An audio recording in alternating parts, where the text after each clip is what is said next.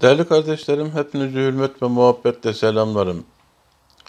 Bazen hadisi şerifleri okurken bir hadisi şerife rastlıyoruz. Orada bir olaya rastlıyoruz. Tabiri caizse çarpılıyoruz. İşte böyle çarpıldığım hadisi şeriflerden bir tanesi de şu. Hz. Peygamber Efendimiz sallallahu aleyhi ve sellem yatalak bir hastanın yanından geçerken onun vaziyetine ibretle baktı ve hemen devesinden inip secdeye kapandılar. Daha sonra Hazreti Ebu Bekir ve Hazreti Ömer Efendilerimiz de bu hastanın yanından geçerken aynı şekilde bineklerinden inip şükür secdesi yaptılar. Değerli kardeşlerim, bu ne idrak? Sağlığın değerini, kıymetini kavrama noktasında bu ne müthiş bir idrak. Köyümüzde bir kadından bahsettiler. Kadın olunca ben ziyaretine gidemedim. Bir akrabalık da yok, uzak bir komşumuzdu. 20 küsür sene felç yatmış. Ziyaretine gidenlere bir gün galiba Allah Celle Celaluhu beni unuttu demiş. Neuzubillah. Değerli kardeşlerim bu söz hoş değil. Kötü kokular geliyor. Ama neylersiniz hastadır. Bir gün vefat ettiğinde kendisi de çevresindekiler de sevindiler.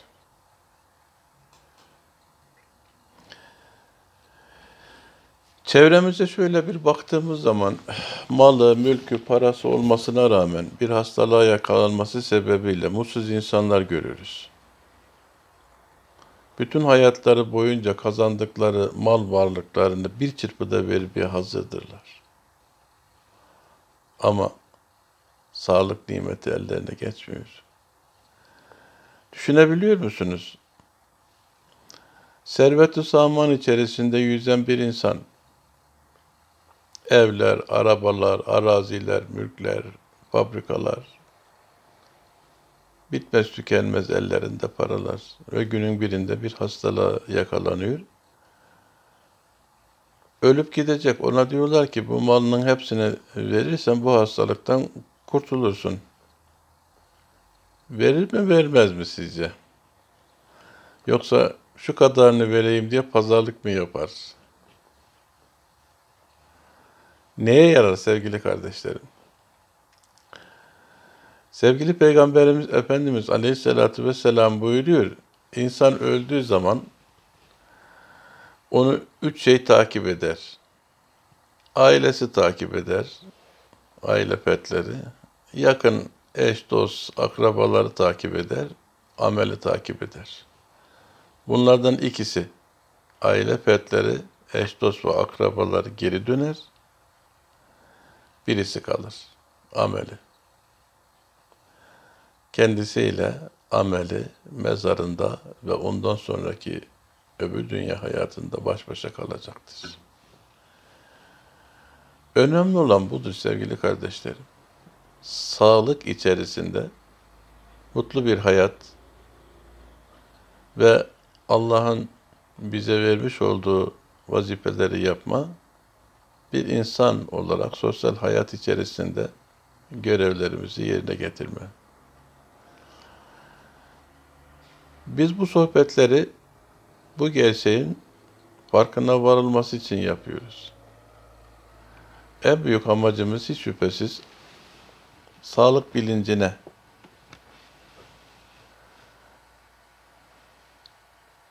erme hususunda bir katkı sunmak. Değerli kardeşlerim, biz kendimizden de biliyoruz, başkalarından da görüyoruz ki insanın mayasında biraz gaflet var, biraz tembellik var, biraz vurdum duymazlık var, biraz laubalilik var, umursamamazlık var.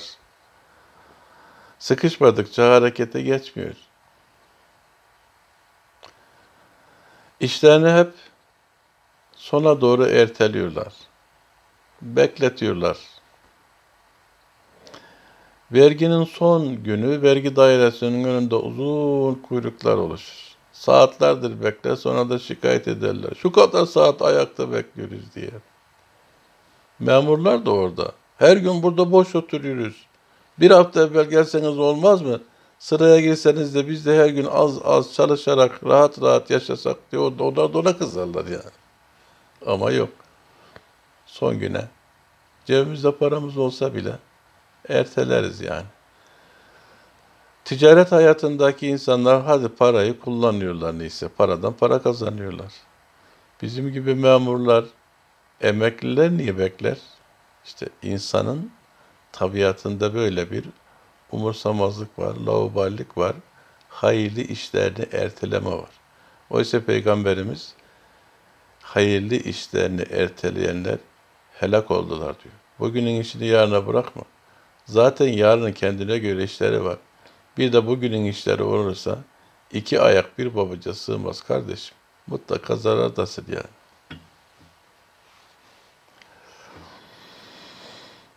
İşte bu yüzden diyoruz ki akıllı insanlar başkalarının başına gelen musibetlerden ders alırlar. Çevremizde gördüğümüz o yatalak hastalar, o inim inim inleyenler, o bir dirhem, bir gram sağlığa muhtaç olan insanlar, bütün servet-ü samanını verse, elde edemeyeceği ama bir zamanlar da hoyratça kullandığı o nimetin e bugün ne kadar kıymetli olduğunu farkına varmalar. Ama neye yarar? Adam bana bir şey olmaz diyor. Bana bir şey olmaz. Ya şu başına bir şey gelenlerin hepsi de senin gibi bana bir şey olmaz diyordu. Ve sonra olunca da bilinç yok, şuur yok. Çünkü eğitim yok, terbiye yok. iyi bir din algısı yok. Evet başına gelince niye ben diyor. Bu kadar insanların arasında bu musibet niye bana geldi diyor. İnsan oldu. Hatta filmlerde izledim de gözümle görmem zannediyordum. Gözlerimle de gördüm, kulaklarımla da duydum. Allah'ım ben sana ne yaptım diyor. Başına bir musibet gelmiş. Şimdi adamın öfkesi ve derdi karşısında gülmek de hoş değil ama içimden gülüyorum ben de. Güldüm birisine. Allah'ım ben sana ne yaptım diyor. Ağzıyla da söylüyor. Fakat anlamıyor. Ben de içimden sordum ona. Doğru söylüyorsun dedim. Sen Allah için ne yaptın? Hiçbir şey yapmadın. Allah'ım ben sana ne yaptım diyor. Yapmadın. Namaz kıl dedi kılmadın. Oruç tut dedi tutmadın. Zekatını ver dedi vermedin. İçme şu içkiyi dedi içtin. Oynama şu kubarı dedi oynadın. Haram yeme dedi yedin. Zulmetme kimseye dedi ettin. Zina yapma dedi yattın. Dedikodu yapma dedin yaptın. Sonra da ben sana ne yaptım diyor işte yapmadın. Dediklerinin hiçbirisini yapmadın. Ne yaptın Allah için? Onu söylesene. Ben sana ne yaptım diyor. Halbuki ben senin için bir şey yapmadım diyecek. Değerli kardeşlerim, akıllı insan başkasının musibetinden ders alır.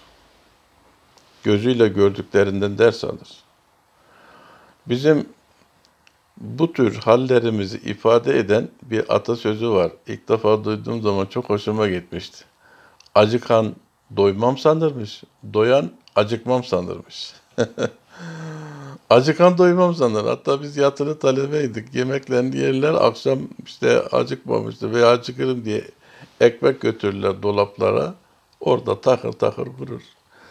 Yatılı talebelerin dolaplarının üstünde bir sürü ekmek olur. Hizmetçiler samurdana samurdana toplanır, toplarlar yani. Acıkan doymam sanır. Doyan da acıkmam sanır. Adam doymuştur, bir daha tedbiri de bırakmıştır.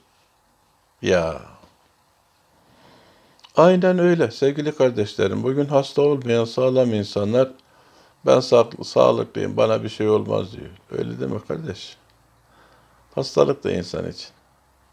Ölüm de insan için. O yüzden sağlıklı yaşamayı öğrenmemiz gerekir. Hastalık veya kazalar, yaralanmalar, sakatlanmalar, bir kısım muhabbetlere maruz kalmalar bizim uzağımızda değil ki. Hayatın içinde her an karşımıza çıkabilir. Hatta değerli kardeşlerim biz ne kadar düzgün yaşarsak yaşayalım, dikkat edersek edelim, bazen başımıza istemeden kazalar da gelebilir. Siz kurallara uyarsınız ama karşıdaki uymaz. Bir yaramazın, bir kural tanımazın, bir kanunsuz adamın kurbanı olabilirsiniz. Mesela trafiktesiniz. Hangimiz trafikten uzak kalabiliriz bugün? Karşımızda bir yığın insan var. Kimisi alkol almış.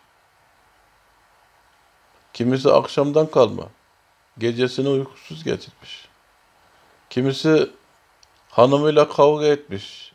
Beyiyle kavga etmiş. Öfkeyle çıkmış. Kimisi patronunu öfkelenmiş. İşini kaybetmiş. Kimisi bir başka stresin içerisinde. Korna çalan, bağırıp çağıran bir sürü insan. Senin de psikolojini alt üst ediyorlar.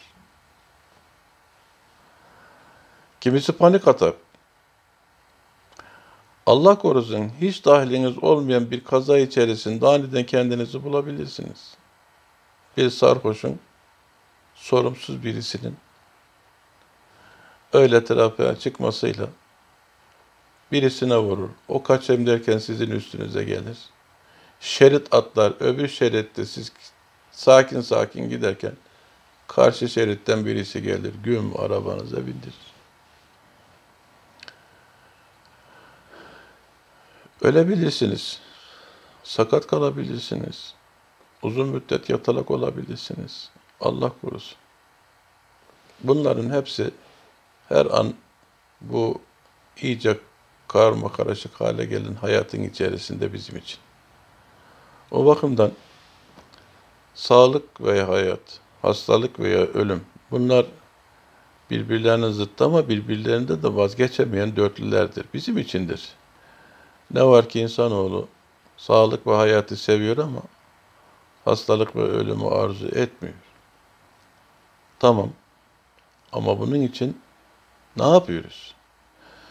Değerli kardeşlerim, bizim dahlimiz olmayan hususlardan sorumlu değiliz.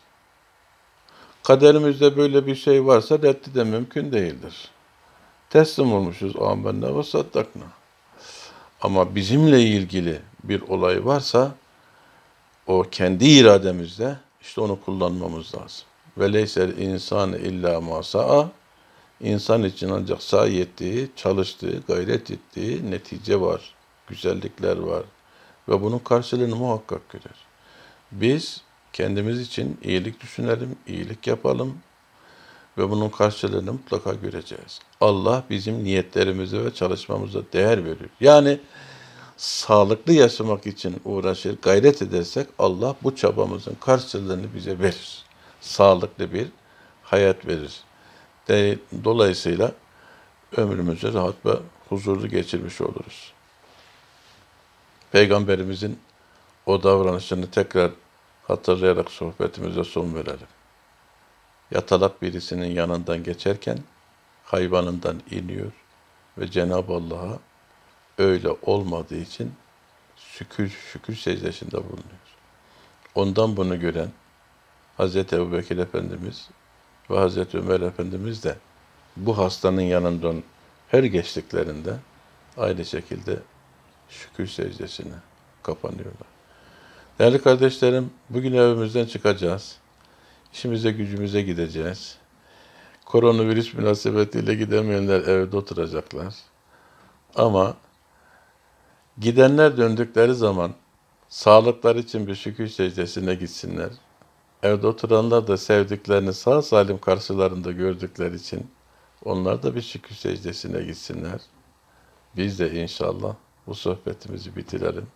Cenab-ı Allah'a şu verdiği sağlıktan dolayı gözümüz görüyor, kulağımız işitiyor, elimizden duyuyor. Bir şükür secdesine girelim.